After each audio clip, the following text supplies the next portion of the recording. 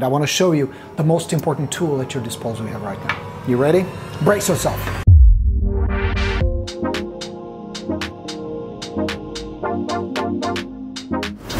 Welcome everybody. Coach Borino with you on this Tuesday, or if you're watching this on replay, watching this video on YouTube, on whatever lovely day it is for you. Welcome to the Borino Live. God, it's good to see you. We have some important stuff to cover today. We have important business that will get you out of the rut, get you out of the mindset of trouble, of you're stuck, many of you. So we're gonna get you unstuck. We're gonna help you. I'm have some practical tips, some practical strategies for you. I'm gonna answer your questions, so post them in the comments. Would be happy to talk to you. First things first. The most important part of the training, of course, cappuccino. And with that, I have a lot of notes today. Wrote them up about an hour ago for you. So let's get cranking. What do you say? Everybody knows my name, right? If you don't, this is your first time with me, welcome. It's really great to have you. I've been doing this for many, many years. I was first a real estate agent. I wrote several books for real estate agents. I, I have courses on how to get leads, how to get listings, how to help clients get paid, make money, be successful real estate agent. Um, one of my strengths is to take something complicated, like how do I make money in real estate without going broke or hungry? And how do I do it without losing dignity, sanity, without wasting a lot of time, wasting a lot of money? I tend to like something that's simple, something that's executable, because if it's 147 steps and if it costs $7,000 and if it requires six months for you to see the first deal, nobody's gonna do it. I know you won't do it, I won't do it. And we are the same in that way. You want results now, you want quick results. Not that you're looking for shortcuts, but there are ways for it to be extended long and painful, and there are ways to make it quick. So I'm good at that. So let's talk about it. I want to show you the most important tool at your disposal you have right now. Hmm. You ready? Brace yourself. Right here. This, my friends. Not just the iPhone, maybe you're on Android. But this is the most important tool at your disposal. And it is being abused and misused or not used by so many agents, unfortunately.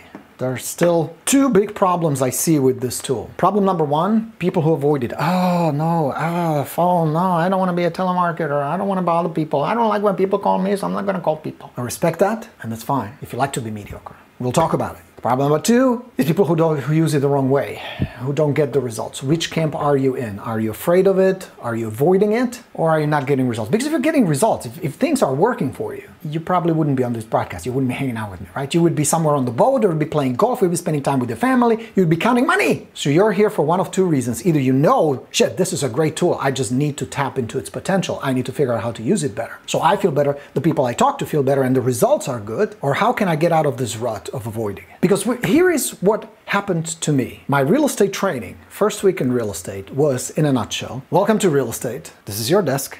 Here's your phone.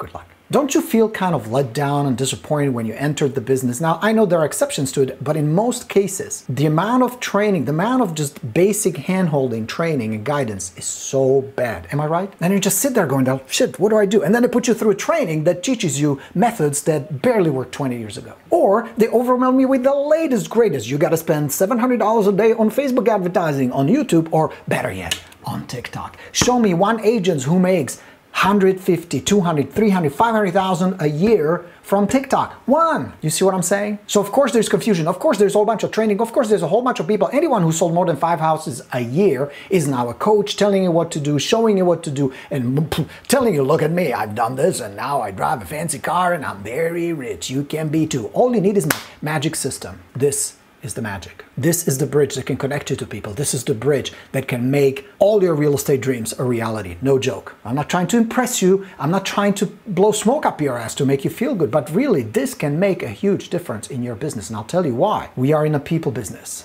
with all the latest tools, all the latest gadgets, all the latest advances, and I love them. I mean, shit, you're watching this on social media. What does that tell you? I gotta go with the program, and I love it. But the truth is, this still is your best bridge to people who need to buy, to people who need to sell, who you can reach. So what's in the way? What gets in the way? I'll tell you what gets in the way. One thing, your thoughts and your emotions. Hold on a second, that's two.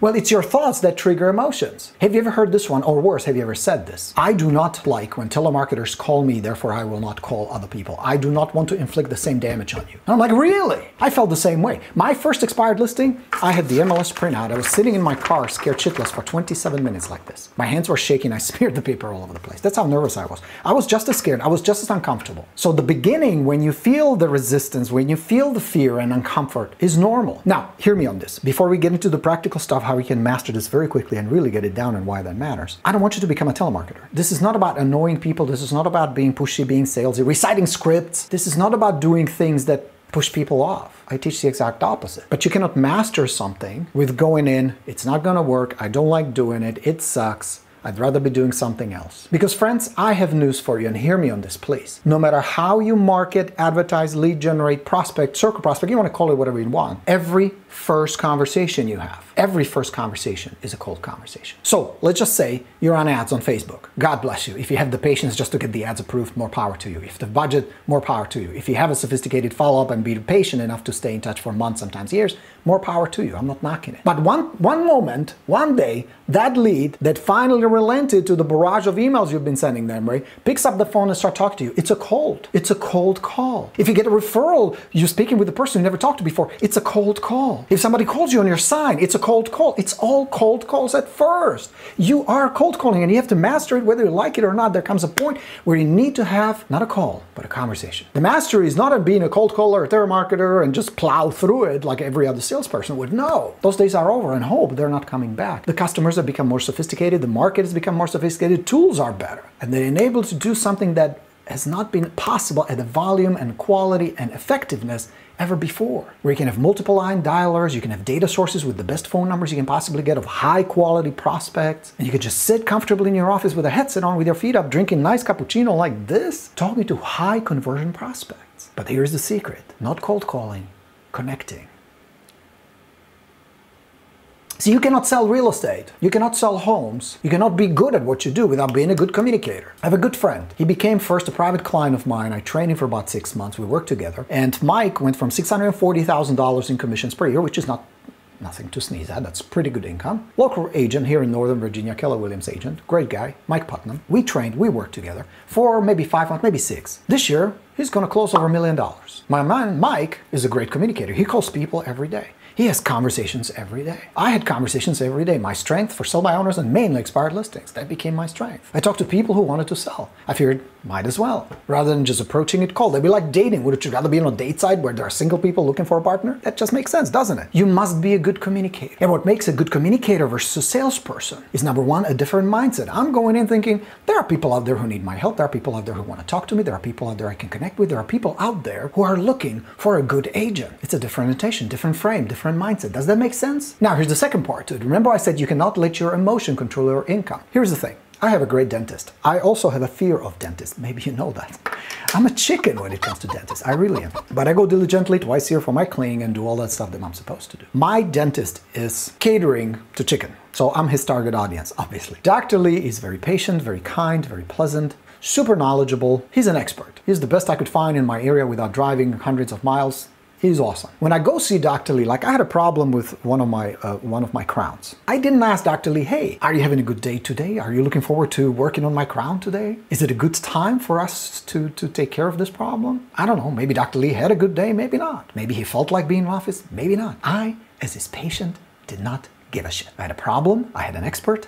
He knows how to fix my problem. He fixed my problem. Here's my point. There are days you're going to love your business. There are days where it's so satisfying when you negotiate a hard deal, when you win over 15 other offers, when you score that listing over six other agents. And I love those stories of my students when you guys send them to me. That's a high. That's phenomenal. But there are not that many because the way to get to those listings and sales and commissions very often takes a lot of drudging, a lot of hard work, a lot of mundane work, a lot of boring work, a lot of rejection, a lot of discomfort. Would you allow the emotion control your income. Would Dr. Lee one day say, you know what, I don't feel like going to the office today and helping people. I don't care if I have seven appointments scheduled, I don't give a shit, I don't feel like it. No. There may be days where he loves his work and enjoys talking with patients and helping them, and there may be days where he hates it. But if I have an appointment, he's gonna show up and solve my problem.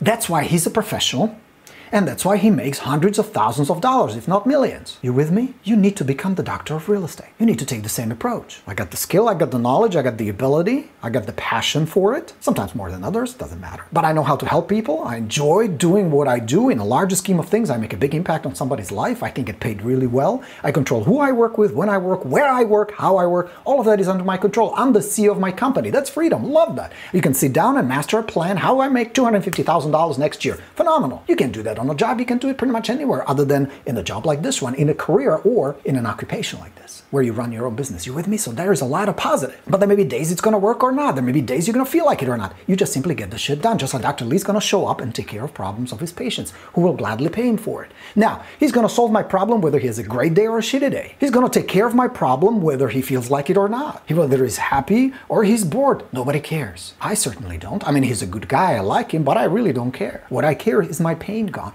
There are people out there right now, buyers and sellers, in pain, who do have a problem, who, who have a desire, who have a goal.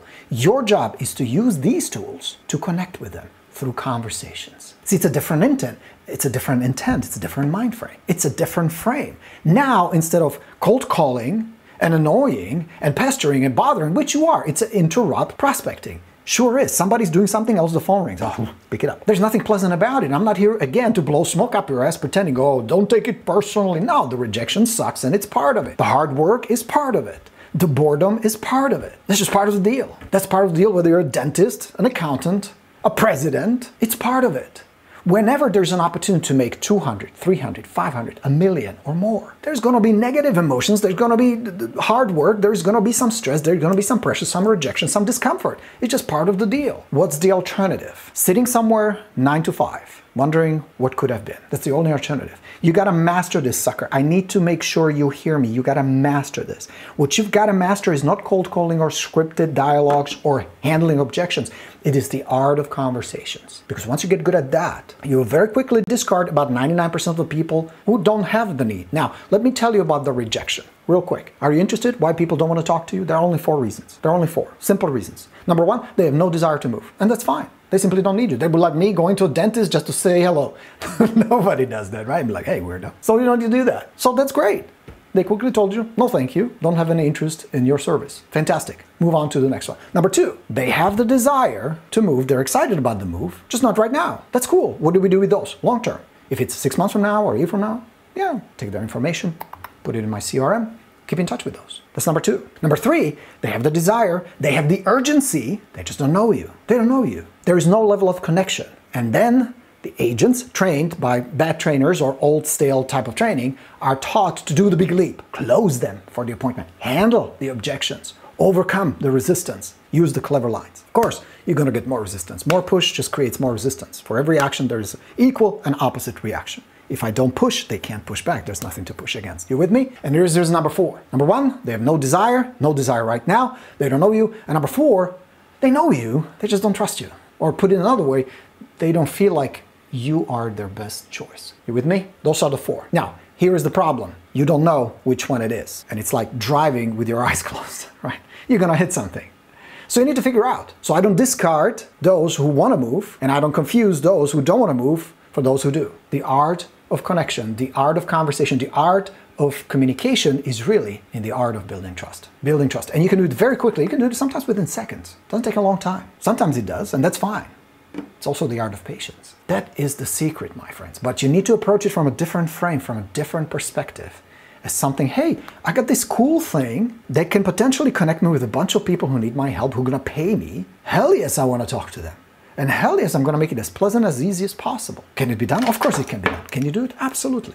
Is it making sense so far? We're gonna go deeper, but I just wanna kind of set the frame for this. You can have a messy success or comfortable, tidy mediocrity. In other words, when you start this journey and you accept that this is part of what I have to do is communicate with people, and it is the easiest, cheapest, fastest way by far, it's gonna be messy at first, and that's fine. It's gonna be wobbly at first. It's just like learning any other skill, because here's the good news, my friends. To be good communicator, to be able to qualify people, to build trust with them, to answer their questions, to figure out what is it stopping them, and there's only one thing. There's only one thing that's stopping them. Only one, fear. Fear. So the people you talk to, whether it's circle prospecting around your listing or calling for sell by owners, calling expired listings, working with your sphere, communicating with your sphere, the resistance, if they have a desire to move, because if they don't, it doesn't matter. But if they do, it's just from fear, only from fear. So as a master communicator, imagine if you could connect, build trust and connection so deep that it would simply tell you, hey, look, this is what concerns us. So I'm gonna give you one of the most powerful confident communication strategies that I normally teach in boot camps and I normally teach in uh, confidence clinics, but I'll give it to you for free. You ready? Here it is. I'll give you one word. Don't let it fly over you. Don't, don't let it feel like ah, it's too simple. It's not. It's actually pretty complex and definitely not easy, but here it is. How do you know? Ask, ask. But Borino, can it really be that simple? Absolutely. It can be that simple. Could you give us an example? I'll be happy to. Two people talking, two coaches for price of one. How cool is that? Let me, let me give you an example. You're talking with a prospect, and let's say it's an expired listing. You're following up and you get pushbacks, you get delays, you get resistance, you get brush, and you just feel like they want to move, but they're stuck. Have you had prospects like that? So I'm having a conversation. I would say something like, Jim, I got this feeling you really still you still you're still thinking about Florida. Florida still sounds pretty good. It would still be nice being closer to your daughter. It would still be fun to hang out with your buddies and play around with golf every now and then. And it would be nice to have Thanksgiving together as a family. It would be nice to enjoy the weather. Am I right? Now, This is the opener. I will break it down for you. Let me just walk you through it. Would it be nice? And you're gonna hear something like, most likely, yeah, that sounds still pretty good. We're still thinking about it. And you say, okay, I hear it. But I also sense that something's holding you back. Like, it would be nice. You've been looking at the properties, you've been kind of going back and forth, but something's holding you back. Notice how I changed my tone. This is not a sales call anymore. It's almost like a friend helping a friend, like a relative or, or somebody closer who's really inquisitive, who is really curious. Because that's one of the core secrets of good, confident connection communication is you must genuinely care. So ask what What's really holding you back? What do you feel like is the biggest barrier? Why not play that round of golf? Other than work on your putting, I know. Little humor breakdown. What's holding you back? Tell me more. And here comes part three. Be quiet. Let it sit. And you know how hard that is sometimes? Where we have this urge, especially when we're a little nervous, to just keep talking. And you just sit quietly. Let them ponder the future here and the future in Florida. And you just sit with compassion and wait. That'll be a long silence very often. And then they something like, well, I'm just worried that we're going to regret the move. Something that will start with the phrase like, I'm worried or we're concerned or we're afraid or the problem is, is an indicator of two things. You're going into their core, what's really holding them back, and very honest, open contact connection has just been made. Very powerful way. And let them vent it out. And it's going to be something like, we're worried that we can't afford the payment, or we're worried that uh, we're going to hate the neighborhood, or we're concerned about this, that, and the other. And they may have 10, 15 different constructs. But underneath it, what's fueling is fear because at the end, every prospect you work with, everyone you get on the phone or in person or on Zoom virtual, is battling between two forces fear that's holding them back, that's making them stay, the status quo, and the desire to move, to solve the problem that they have. Because if they don't have a problem, you don't have a prospect. Either a strong desire to live somewhere else or big discomfort of staying where they are.